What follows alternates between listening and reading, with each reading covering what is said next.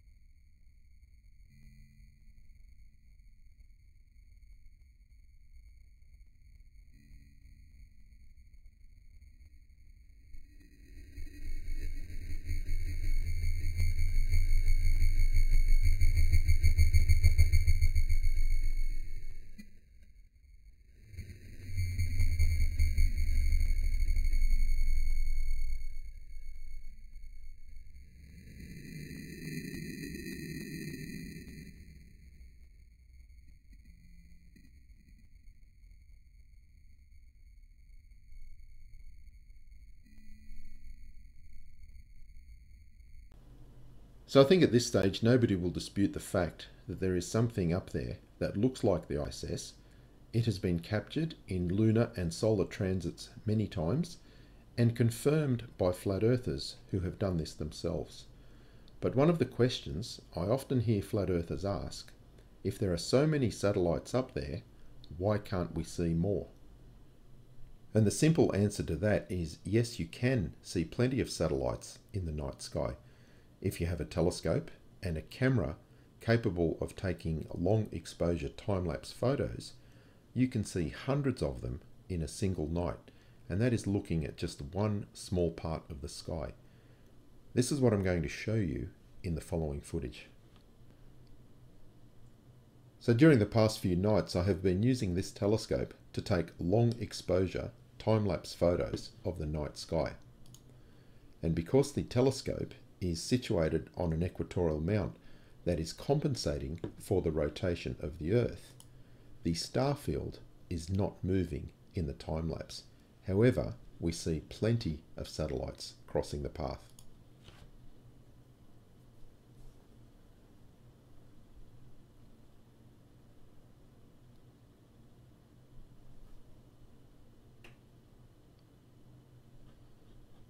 You can see them moving down from the top and I'll explain what that star is and why I chose this location.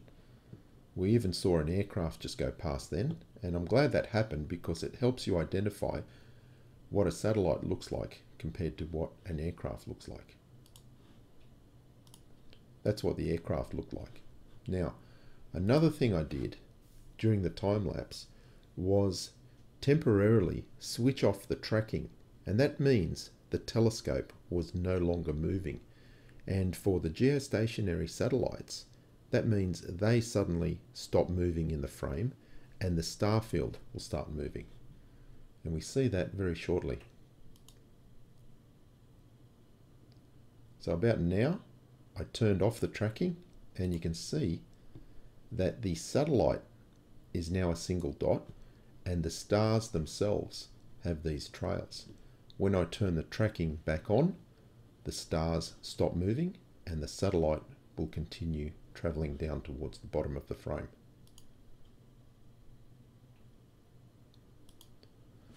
And that confirms that these particular satellites, the geostationary satellites, are in fact moving with the rotation of the Earth. And the reason we see the stars move across the sky at night is because the Earth is rotating. And when we use a telescope on an equatorial mount to compensate for the rotation of that Earth, the stars are not going to move in the video.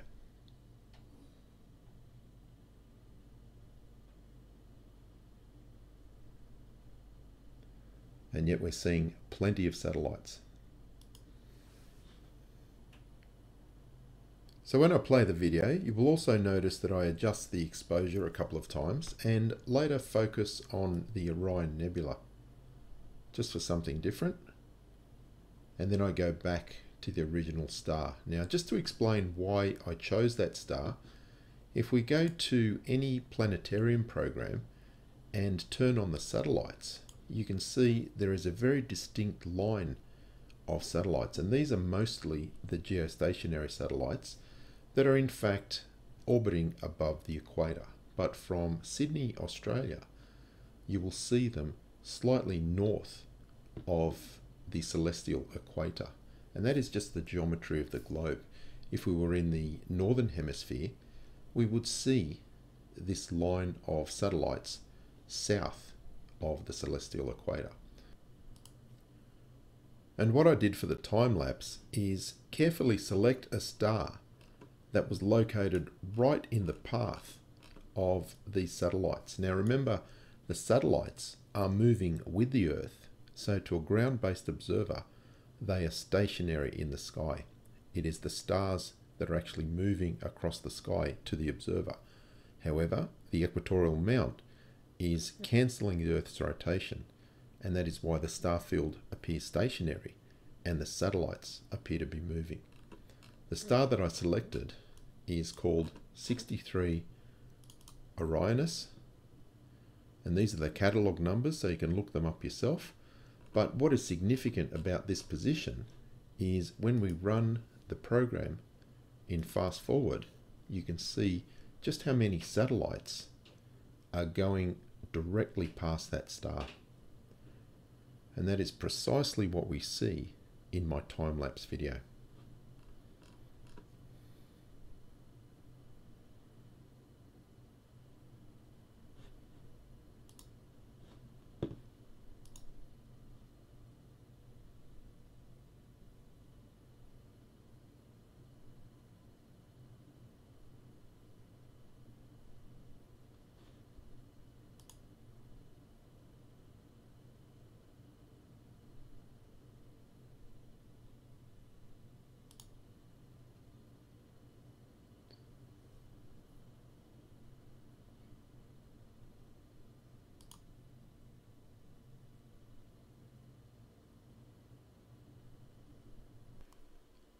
So now I'll play the time-lapse video, which was made by taking 10 second exposures and then assembling the photographs at 10 frames per second into a video.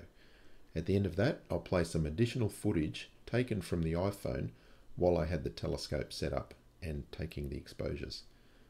So flat earthers, you keep asking these questions. I think it's time you did your own research because in a single night, I was easily able to identify dozens of satellites in the sky.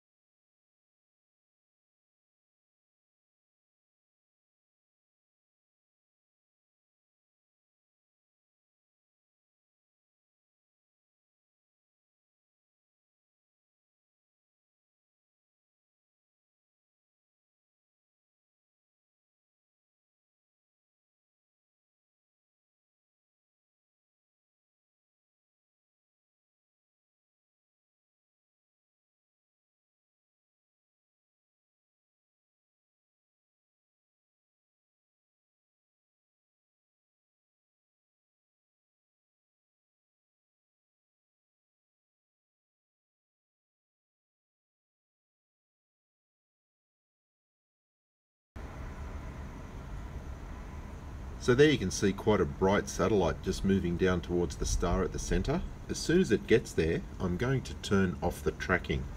So the satellite is going to stop and the stars will then start moving across the frame.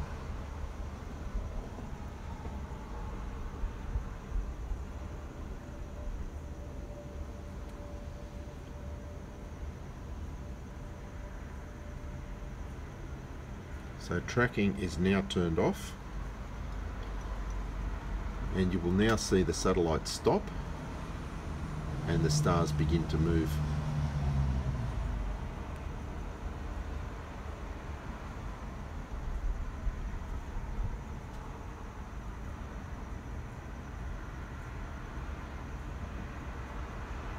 There you can actually see two satellites. One just below that bright star and the other one just to the top and right of it, just right of it now.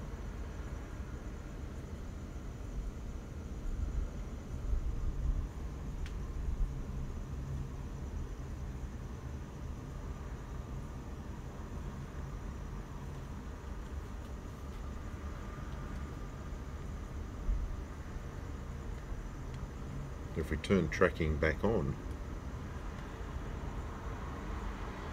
tracking is back on now. So the telescope is now compensating for the rotation of the Earth and therefore the stars will not appear to move in the video. But because the satellites are rotating with the Earth, they will appear to be moving.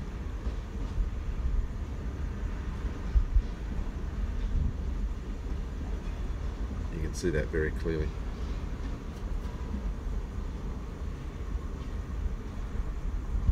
Turn off the tracking again. Tracking is now off.